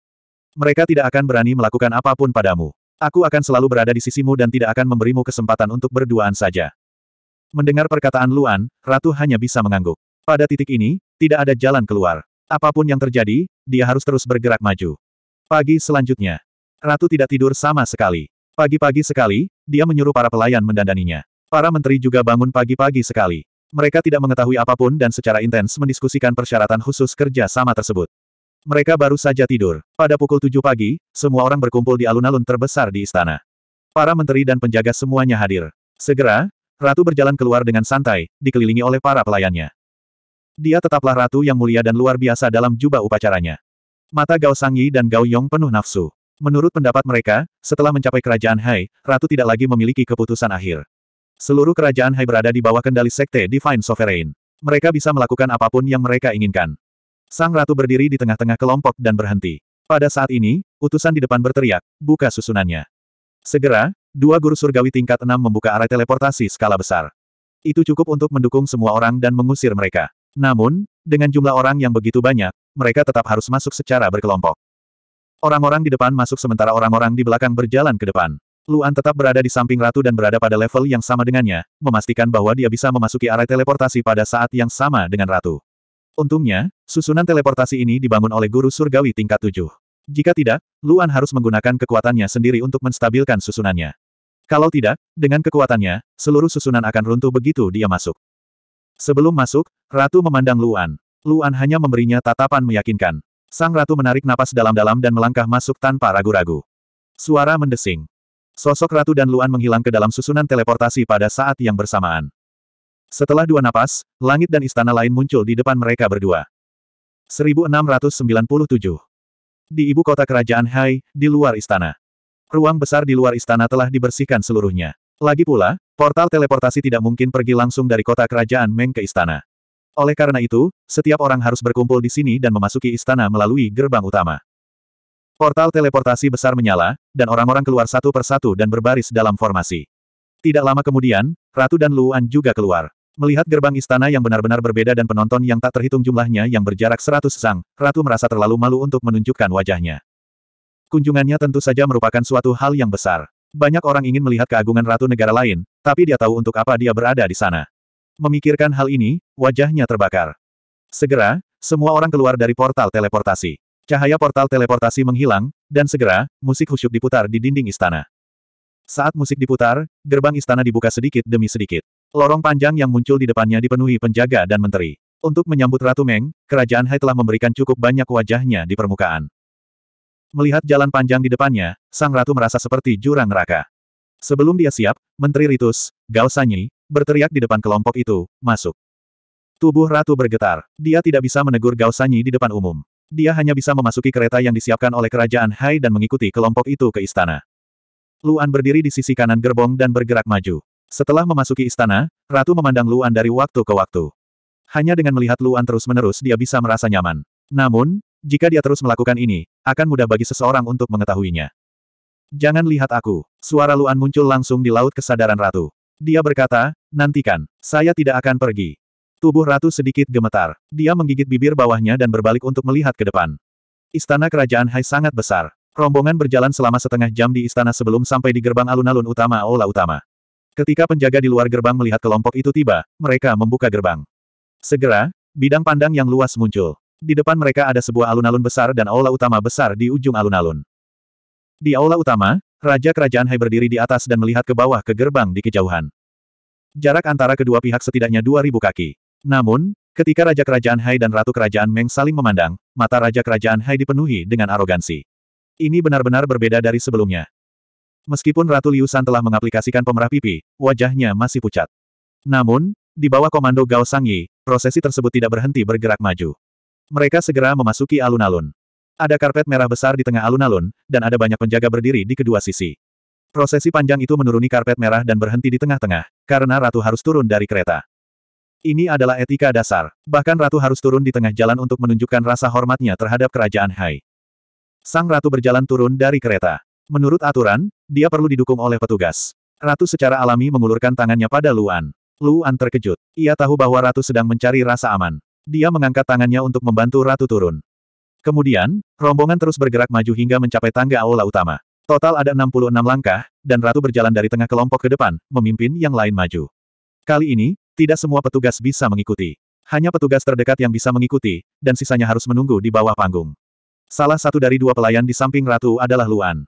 Delapan menteri tentu saja harus mengikuti Ratu menaiki tangga. Segera, semua orang mencapai platform di luar aula utama. Raja Kerajaan Hai berinisiatif untuk berjalan maju, dan para menteri Kerajaan Hai segera menyusul, menyambut orang-orang Meng. Melihat Raja Kerajaan Hai berjalan ke arahnya, Ratu Liusan merasa kakinya lemas, dan dia tidak ingin melangkah maju. Luan merasakan reaksi Ratu. Dia sedikit mengernyit dan menggunakan kekuatannya untuk menyelimuti ratu, mendorongnya ke depan sehingga dia tidak menunjukkan tanda-tanda kelainan yang jelas. Akhirnya, kedua belah pihak berhenti. Raja Kerajaan Hai, yang berada di depan, hanya berjarak satu langkah dari Raja Kerajaan Meng. Nafas Ratu Liusan hampir berhenti, namun Raja Kerajaan Hai memiliki senyuman yang jelas di wajahnya. Menurut aturan, Liusan yang sedang berkunjung harus menjadi orang pertama yang menyapa Raja. Namun, Ratu yang gugup tidak bisa mengucapkan sepatah kata pun. Melihat hal ini, Raja Kerajaan Meng tidak menyalahkannya sama sekali. Sebaliknya, senyumnya menjadi lebih lebar ketika dia berkata, terakhir kali aku melihat Ratu Meng adalah dua tahun yang lalu. Merupakan kehormatan bagi raja ini untuk bertemu denganmu lagi. Mendengar sanjungan Raja Kerajaan Hai, Liu San merasa semakin jijik. Namun, dia tahu bahwa dia tidak bisa tinggal diam, jadi dia dengan ringan menarik napas dan berkata, Salam, Raja Kerajaan Hai. Haha, Raja Kerajaan Hai tertawa keras dan berkata kepada Ratu Meng, silakan masuk. Segera, Raja Kerajaan Hai dan Raja Kerajaan Meng memasuki aula utama, dan para menteri dari kedua belah pihak segera mengikuti. Kedua belah pihak baru saja bertemu, jadi tentu saja mereka tidak akan langsung bernegosiasi. Sebaliknya, mereka akan mengadakan jamuan makan. Kedua belah pihak akan mengesampingkan politik dan sejarah untuk bersenang-senang. Namun, proses ini sangat sulit ditanggung oleh Ratu Meng. Di platform tinggi, Raja Kerajaan Hai dan Ratu Kerajaan Meng duduk di satu sisi, dan keduanya sangat dekat satu sama lain. Menurut aturan, Pelayan Ratu Kerajaan Meng tidak boleh mendekati Raja Kerajaan Hai. Dengan kata lain, semua orang di platform tinggi berasal dari Kerajaan Hai, dan orang-orang ini tidak diragukan lagi berasal dari Sekte Penguasa Surga. Raja Kerajaan Hai adalah Master Sekte dari Sekte Penguasa Surga. Saat ini, semua menteri di aula utama adalah anggota Sekte Penguasa Surga, jadi dia bisa melakukan apa pun yang dia inginkan. Berdasarkan rencananya, dia dan Ratu Meng berbagi meja panjang. Kenyataannya, dia hanya berjarak satu orang dari Ratu. Pada jarak ini, dia bisa menjangkau dan menyentuhnya. Ketika Ratu Meng melihat kursi ini, dia tahu bahwa pihak lain sedang merencanakan sesuatu yang tidak baik. Namun, dalam keadaan seperti ini, dia tidak bisa menolak dan hanya bisa gigit jari dan duduk. Seperti yang diharapkan, Raja Kerajaan Hai dengan cepat mengulurkan tangan dan ingin menyentuhnya. Dia sama sekali tidak peduli dengan pelayan di belakangnya. Ketika Ratu Liu San melihat ini, dia ingin menggunakan tangannya untuk menutupi wajahnya, tetapi dia takut para menteri di bawahnya akan menyadarinya, jadi dia hanya bisa menatap dengan marah ke arah Raja Kerajaan Hai. Namun, Raja Kerajaan Hai tidak peduli sama sekali. Sebaliknya, dia memandang Liu San sambil tersenyum dan mengucapkan beberapa kata yang tidak penting. Namun, kurang dari tiga napas setelah Raja Kerajaan Hai bergerak, Ratu Kerajaan Meng sangat marah hingga matanya memerah. Tiba-tiba, mata Raja Kerajaan Hai melebar, dan ekspresinya berubah drastis.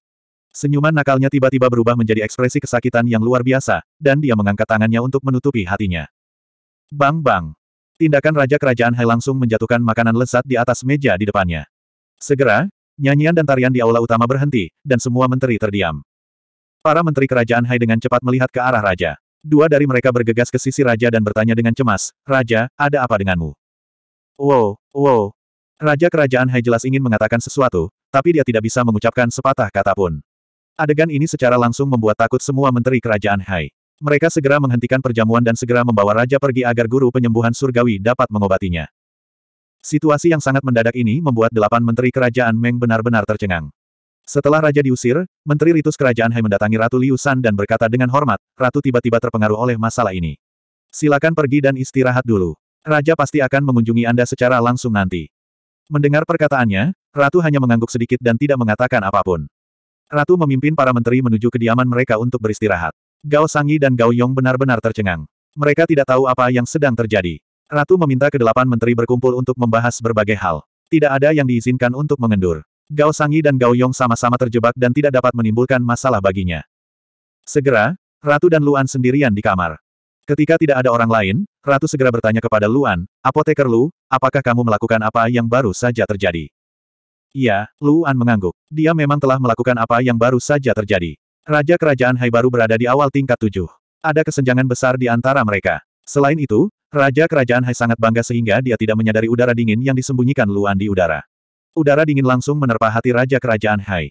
Hatinya yang membeku secara alami menyebabkan Raja Kerajaan Hai sangat kesakitan sehingga dia tidak bisa mengucapkan sepatah kata pun.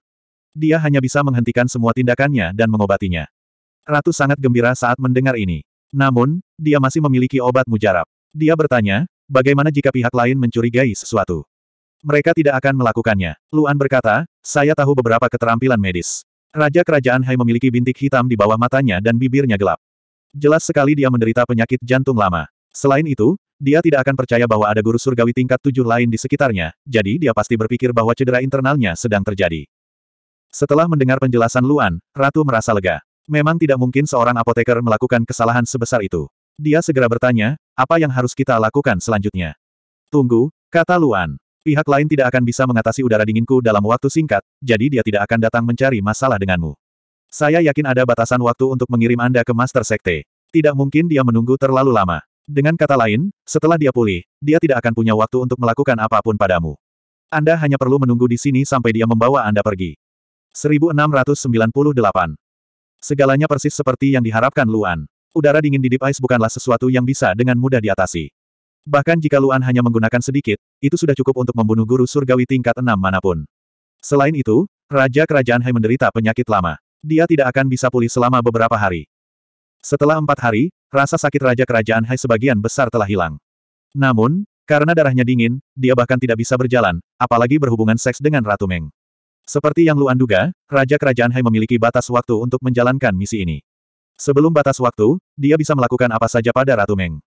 Namun, dia tidak berani untuk tidak mengirimnya ke markas sebelum batas waktunya habis. Selama empat hari, Ratu Meng beristirahat di istana. Enam dari delapan menteri diutus olehnya untuk berdiskusi dengan para menteri kerajaan Hai. Gao Sanyi, yang merupakan menteri Ritus, dan bawahannya, Gao Yong, tentu saja mengikutinya. Dua menteri lainnya mengikutinya untuk melindunginya. Selama empat hari, tidak ada yang berani melakukan apa pun pada ratu. Pada sore hari-hari keempat, Raja Kerajaan Hai tiba secara langsung. Kedua Menteri Meng membungkuk dan ratu keluar untuk menyambutnya. Wajah Raja Kerajaan Hai jelas pucat. Dia berkata langsung kepada Ratu Liu San, ada yang ingin saya bicarakan dengan Ratu Meng sendirian. Bisakah kita berbicara di aula utama? Tubuh Ratu Meng gemetar saat mendengar perkataan Raja Kerajaan Hai. Kedua menteri pun terkejut. Saat Ratu Meng hendak menolak, sebuah suara tiba-tiba muncul di benaknya. Itu bukan suara Luan tapi suara Raja Kerajaan Hai. Aku akan membawamu ke markas. Jangan malu-malu. Tubuh Ratu Meng kembali bergetar. Luan melihat keadaan Ratu Meng. Meski dia tidak tahu apa yang terjadi, dia bisa menebaknya. Oke, Ratu Meng menarik napas dalam-dalam dan memandang Raja. Silakan. Raja Kerajaan Hai tidak mengatakan apa pun. Dia langsung menghilang dari halaman bersama Ratu Meng. Seperti yang dikatakan Raja Kerajaan Hai bahwa dia ingin berbicara sendirian, tidak ada seorang pun yang diizinkan untuk mengikuti, bahkan kedua menteri pun tidak. Kedua menteri itu saling berpandangan. Mereka tidak tahu apa yang sedang terjadi. Mereka menggelengkan kepala dan bersiap mencari orang lain untuk mendiskusikan masalah tersebut. Namun, saat mereka hendak berbalik dan pergi, tubuh mereka tiba-tiba bergetar. Di mana pelayan itu tadi? Salah satu dari mereka bertanya dengan bingung. Apakah aku salah mengingatnya? Saya ingat dia baru saja berdiri di sini. Aku ingin menanyakan hal yang sama padamu. Orang lain dengan cepat berkata, mengapa tiba-tiba menghilang? Apakah kita berdua berhalusinasi pada saat yang sama?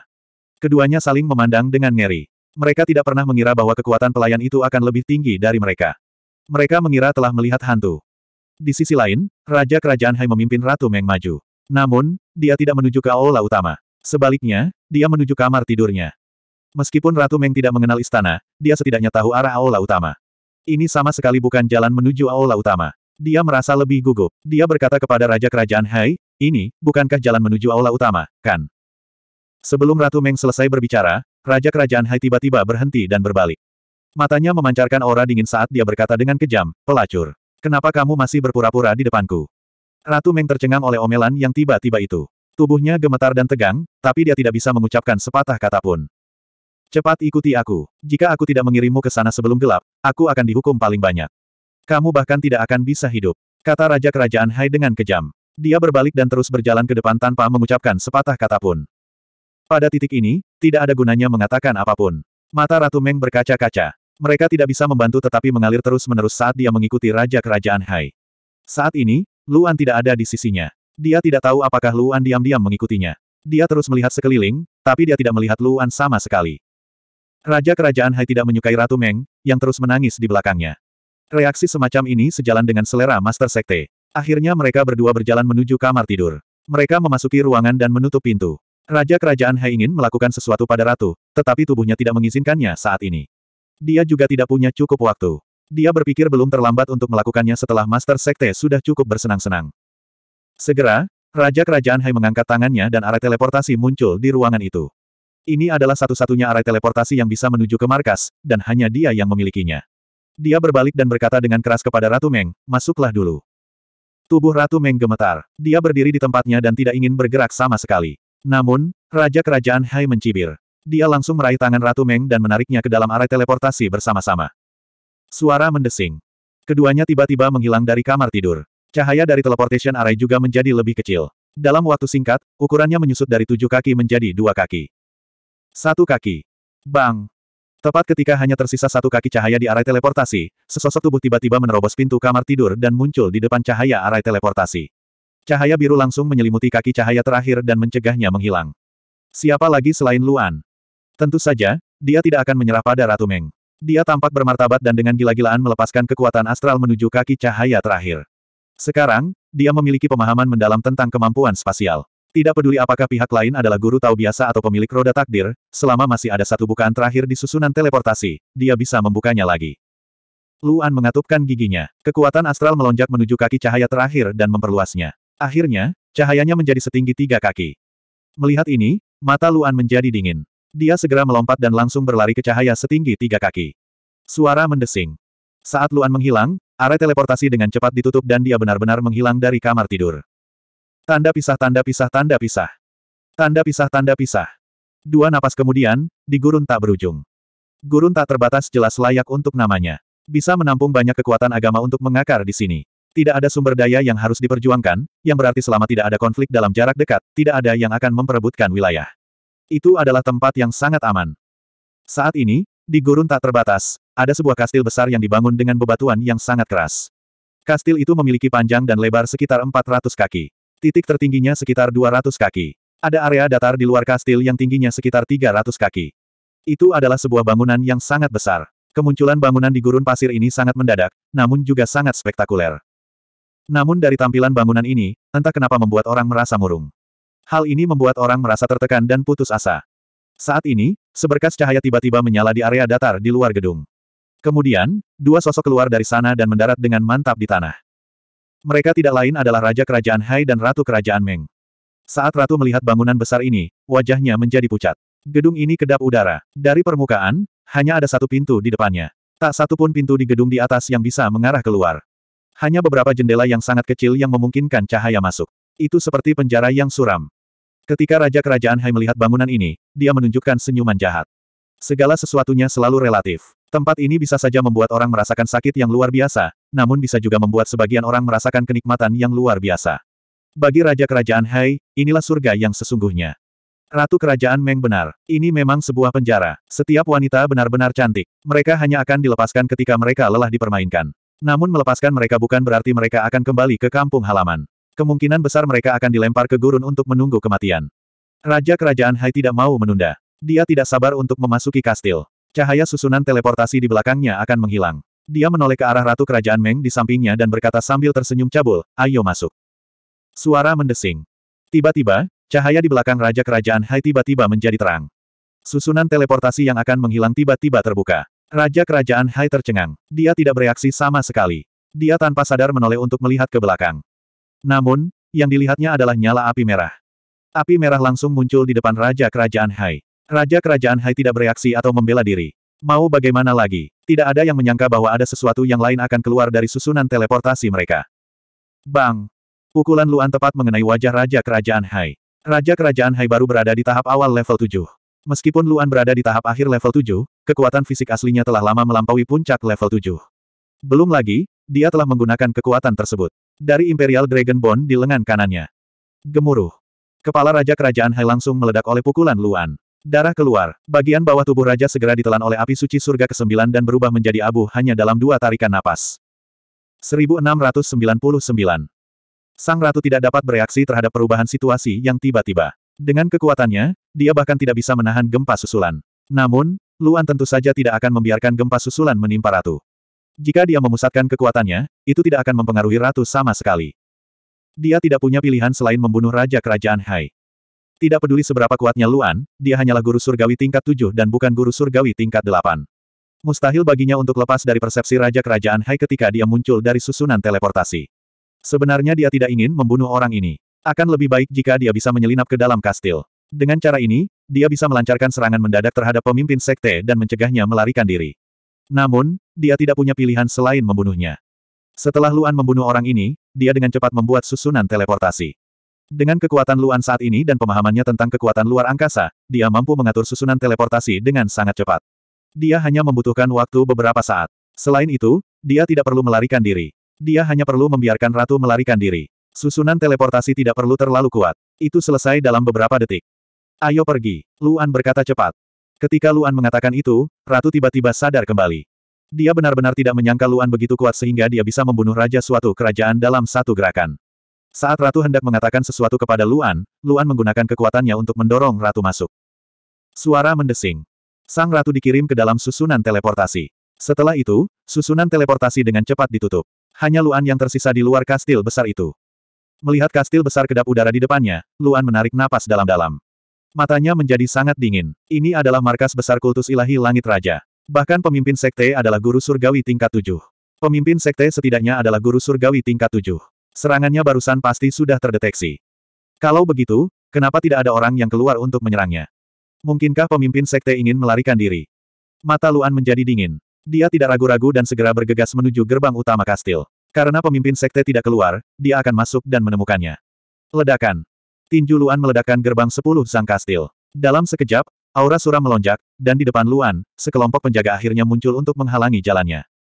Namun, pakaian orang-orang ini acak-acakan, dan terlihat jelas bahwa mereka hanya memakainya dengan tergesa-gesa.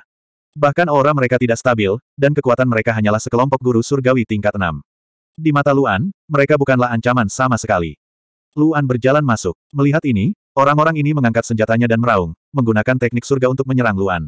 Teknik surgawi ini tampak kejam dan kuat, tetapi di mata Luan, itu bahkan bukan lelucon. Namun, Luan tidak membunuh orang-orang ini begitu saja. Itu akan membuat mereka lepas begitu saja. Dia mematahkan semua tulang di tubuh mereka dan menusukkan tulang rusuk mereka ke jantung dan paru-paru mereka. Dengan vitalitas seorang guru surgawi tingkat enam, bahkan dalam keadaan seperti itu, dia masih dapat hidup selama satu jam. Hanya saja dia harus mengalami proses mati lemas yang sangat menyakitkan. Luan tidak menunda-nunda. Setelah berurusan dengan guru surgawi tingkat enam ini secepat mungkin, dia menyebarkan persepsinya dan menyelimuti seluruh kastil. Yang mengejutkan Luan adalah bahwa arsitektur kastil sebenarnya memiliki hambatan tertentu terhadap persepsinya. Jelas sekali bahwa ini pastinya adalah kastil yang dibangun oleh guru surgawi tingkat tujuh. Persepsinya hanya bisa berjalan melalui koridor yang tidak terhalang, dan tidak bisa memasuki ruangan. Luan melihat sekeliling. Medan kastil itu sangat rumit. Ada banyak koridor dan tangga, dan dia tidak tahu di mana ada jebakan atau penyergapan. Namun, Luan tidak ragu-ragu dan segera berjalan ke depan. Tidak peduli apa, dia harus menangkap pemimpin sekte sesat ini hari ini. Bahkan jika dia harus menemukannya di setiap ruangan, dia harus membunuh orang ini. Koridor di depan Luan sangat panjang. Ada kamar dan pintu di kedua sisi. Dia tidak bisa merasakan situasi di dalam, dan tidak ada suara yang terdengar dari dalam. Luan berjalan ke pintu pertama. Ukuran pintu dan dinding menyatu seluruhnya, tanpa ada celah. Ada kunci besar di pintu. Dari tampilan gemboknya, jelas itu adalah karya guru surgawi tingkat tujuh. Luan mengangkat tangannya dan meraih kuncinya. Api suci surga kesembilan muncul di tangannya. Seketika, kunci itu berubah menjadi air merah dan mengalir dari tangan Luan. Dalam waktu kurang dari dua tarikan napas, ia lenyap sama sekali. Kemudian, Luan mengangkat tangannya dan membuka pintu. Saat pintu dibuka, sesosok tubuh telanjang muncul di depan Luan. Itu adalah seorang wanita, wanita yang sangat cantik. Saat wanita itu melihat Luan, matanya dipenuhi ketakutan. Dia secara naluriah ingin mundur, tetapi dia jelas tidak berani. Dia segera berlutut di depan Luan di depan pintu dan berkata dengan suara gemetar, Mas. Tuan. Luan mengerutkan kening. Selain wajahnya, ada noda darah di tubuh wanita tersebut. Jelas sekali bahwa dia telah lama disiksa. Aku di sini untuk menyelamatkanmu. Luan memandang wanita itu dan berkata dengan lembut, cepat pergi. Serahkan sisanya padaku. Tubuh wanita itu bergetar. Dia segera mengangkat kepalanya untuk melihat Luan. Dia menemukan bahwa mata pemuda ini tidak memiliki jejak keinginan jahat, hanya kedalaman dan kegelapan total. Ada juga kemarahan yang terus-menerus ditekan. Luan tidak mengatakan apa pun. Dia menoleh untuk melihat semua ruangan di depannya. Matanya menyipit. Dalam sekejap, api suci surga kesembilan yang tak terhitung jumlahnya meledak, dengan cepat menelan semua kunci di depan pintu penjara. Setiap kunci meleleh dengan cepat, diikuti oleh hembusan angin, dan setiap pintu dibuka. Bas. Suara banyak pintu dibuka sungguh mengejutkan. Semuanya, tinggalkan tempat ini. Luan berkata cepat. Tanpa membuang waktu, dia menghilang dalam sekejap. Luan benar-benar tidak menyangka akan ada begitu banyak wanita yang dipenjara di kastil. Dia benar-benar ingin mengatur para wanita ini dan mengusir mereka. Tapi Luan tidak bisa menyerah untuk melacak keberadaan pemimpin sekte itu.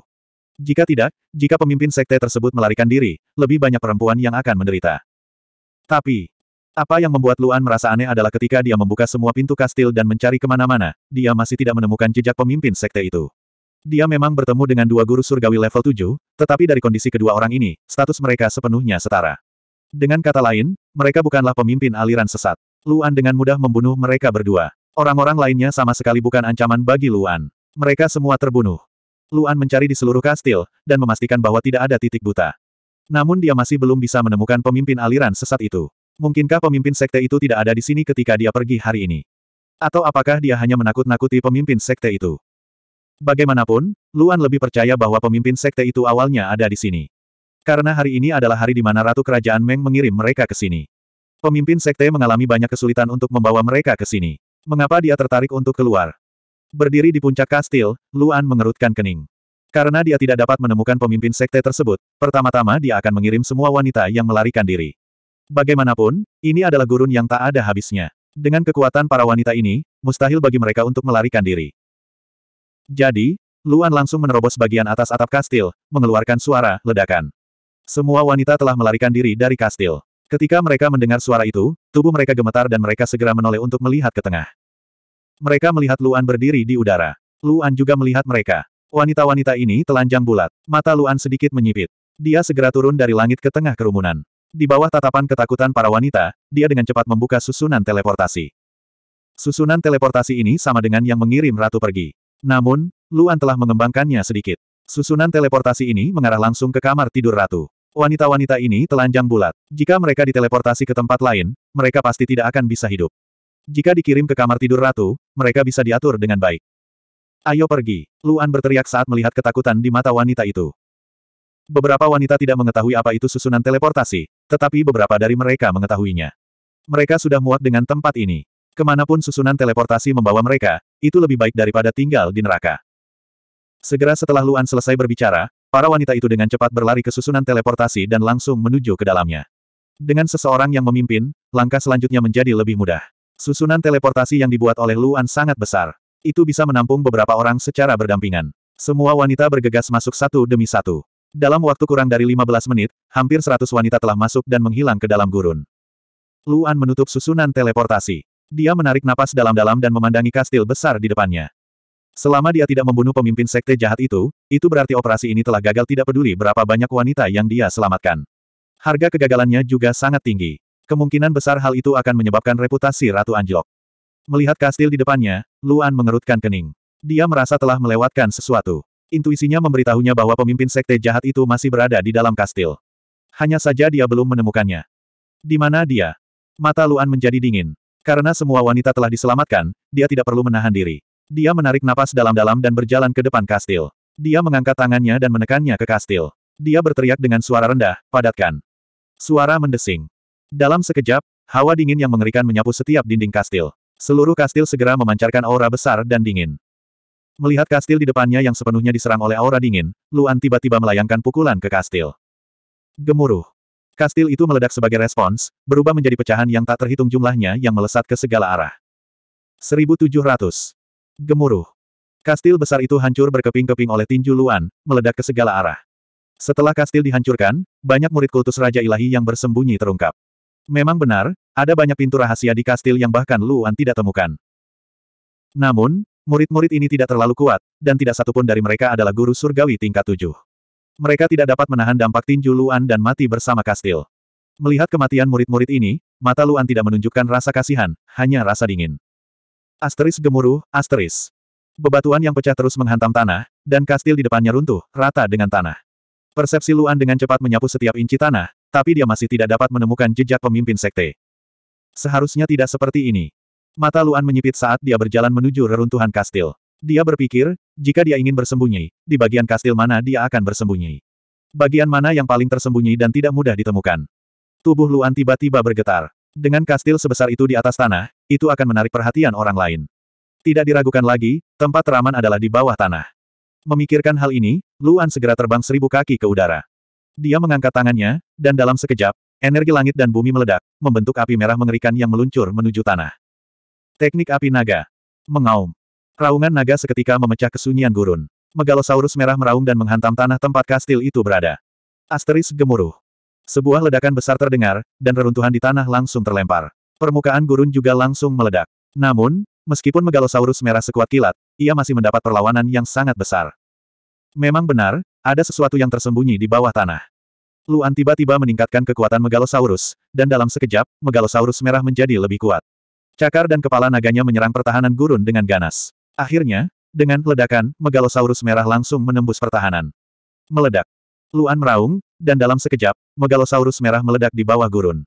Gurun sekitar puluhan ribu kaki di sekitarnya langsung diserang oleh lampu merah. Setelah itu, gurun tersebut terangkat dan terlempar beberapa ribu kaki ke langit.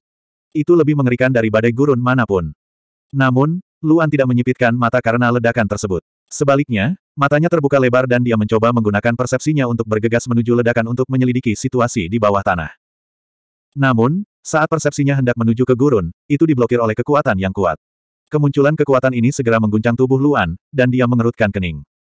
Aura ini, sangat kuat. Suara mendesing. Hembusan angin kencang tiba-tiba meletus dari gurun pasir, seketika menyapu pasir dalam radius beberapa ribu kaki, menghamburkannya ke segala arah. Dalam sekejap, seluruh kastil gurun menjadi sunyi, dan segalanya menjadi jelas. Luan berdiri kokoh di langit. Matanya serius saat dia melihat ke bawah ke arah gurun. Seperti yang dia duga, ada ruang luas di bawah gurun. Ini adalah ruang yang hampir sepenuhnya tertutup, dan dari kelihatannya, ini jelas merupakan tempat untuk bercocok tanam. Di tengah ruangan ini, tiga pria sedang menatapnya. Berdiri di tengah adalah seorang pria muda, dan matanya penuh amarah dan kebencian. Dalam sekejap, Luan mengetahui segalanya. Tanpa diragukan lagi, pemuda ini adalah pemimpin aliran sesat, dan dua pria di sampingnya berada pada tahap akhir dan tahap puncak dari tingkat ketujuh. Mereka harus menjadi pelindung pemimpin aliran sesat. Beberapa saat yang lalu, pemimpin sekte itu sedang melakukan terobosan. Benar sekali, itu adalah langkah terakhir bagi pemimpin sekte untuk menerobos dari tahap puncak tingkat ketujuh ke tingkat kedelapan. Karena ini adalah momen penting, ketiga orang ini tidak melakukan intervensi untuk mencegah kehancuran kastil, dan menyaksikan dia melepaskan semua wanita.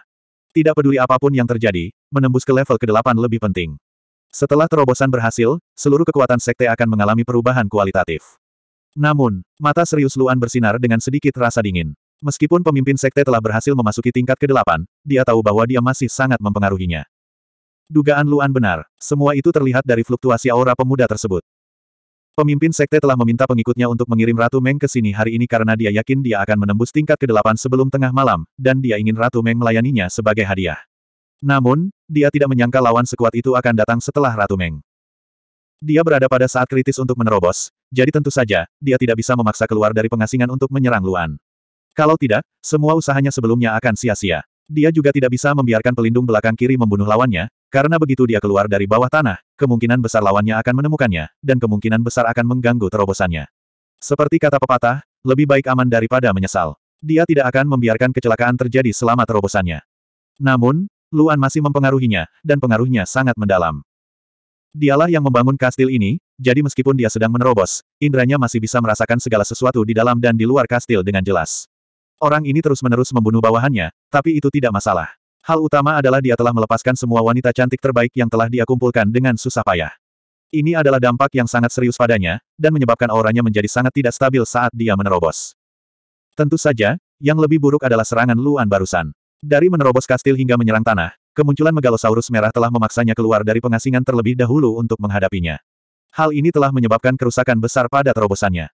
Meskipun dia juga seorang guru surgawi tingkat delapan, kekuatannya sangat tidak stabil setelah keluar dari pengasingan dengan paksa.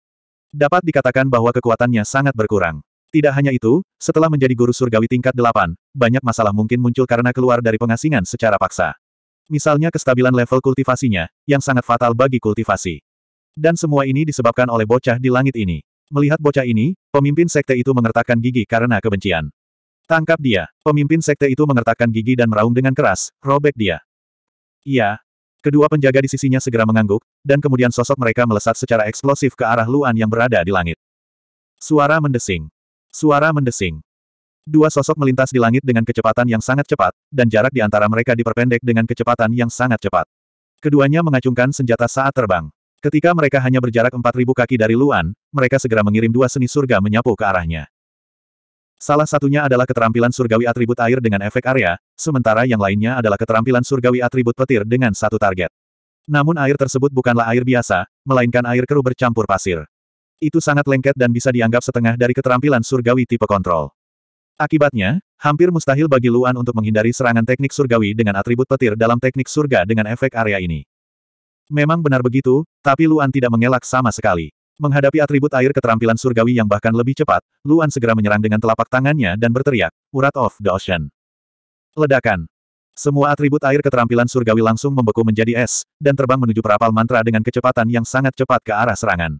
Melihat ini, orang itu terkejut dan buru-buru memutuskan koneksi dengan keterampilan surgawi agar tidak terluka oleh udara dingin. Keterampilan surgawi atribut air telah ditangani, tetapi keterampilan surgawi atribut petir hanya berjarak 2000 kaki dari Luan. Menghadapi energi petir dahsyat yang sepertinya ingin menelannya, Luan segera membentuk Deep Ice Spike sepanjang 10 kaki di sekelilingnya. Ujung Deep Ice Spike mengarah ke energi petir dan melilit dirinya di tengah. Ledakan. Energi petir menyapu, tapi paku es dalam yang besar ini menembus petir seperti tombak panjang. Energi petir tidak dapat menghancurkan Deep Ice Spike sama sekali, dan melesat lebih tinggi ke langit. Dari awal sampai akhir, Luan tidak bergerak sama sekali di langit. Sedikit ejekan muncul di mata dingin Luan. Dia memandang kedua orang di bawah seolah-olah dia bertanya kepada mereka, hanya itu yang kamu punya. Dua orang di bawah langsung marah.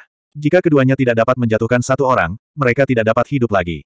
Atribut petir guru surgawi melambaikan pedang besar di tangannya dan menyerbu ke arah Luan. Atribut air guru surgawi di samping juga terus mengganggu Luan. Namun, atribut petir guru surgawi menyerang di depan Luan dengan energi petir yang dahsyat. Dia sangat yakin bahwa dia bisa membunuh Luan, tetapi situasinya justru sebaliknya. Bukan saja dia tidak membunuh lawannya dengan cepat, tapi lawannya malah membunuhnya. Di matanya, gerakan lawan muda ini diremehkan dan sepenuhnya nyaman. Dalam waktu kurang dari sepuluh gerakan, cahaya dingin melintas melewati tenggorokannya, tetapi tidak setetes darah pun muncrat. Udara dingin membekukan daging di atas dan di bawah tenggorokannya dan dengan cepat menyebar ke seluruh tubuhnya. Sebelum atribut air guru surgawi di bawah dapat bereaksi, atribut petir guru surgawi telah kehilangan seluruh kekuatannya dan terbang menuju tanah. Luan tiba-tiba mengubah arahnya dan bergegas menuju atribut air guru surgawi dengan kecepatan penuh. Es dalam dan udara dingin Luan menekan atribut air guru surgawi. Kecepatan melarikan diri guru surgawi dari atribut air tidak secepat Luan. Hanya dalam beberapa gerakan, seluruh tubuh guru surgawi dengan atribut air diserang oleh udara dingin. Semua pembuluh darahnya dibekukan menjadi es batu. Dia jatuh dari langit dan menabrak potongan daging yang tak terhitung jumlahnya di reruntuhan-reruntuhan. Setelah membunuh kedua orang itu, Luan masih berdiri di langit, menatap pemuda di gurun itu. Pemuda itu juga sedang menatapnya. Saat keduanya saling memandang, mata mereka menunjukkan tekad untuk membunuh.